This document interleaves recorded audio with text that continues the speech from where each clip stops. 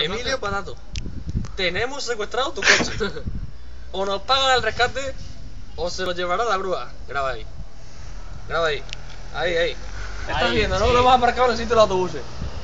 O pagas un rescate o se lo llevará la grúa. ¿Estás enterado, no? Y queremos Dile, díselo 5.000 tú. euros. Hostia, ¿qué dices tú?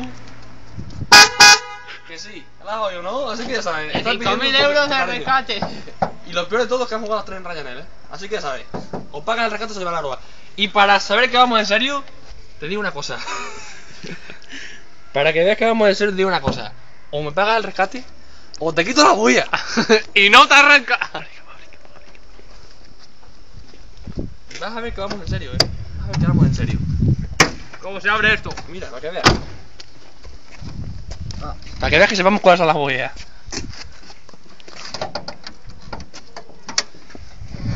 Eso, para que veas, ¿eh? Esto. No, eso no. no. sí, sí, sí. Te quitaremos los cables de la huella de Emilio. No te voy a tirar por no joderte el coche, pero para que lo sepas, ¿eh? Para que lo sepas. ¿Qué dices tú? No dice nada. Pito, pito.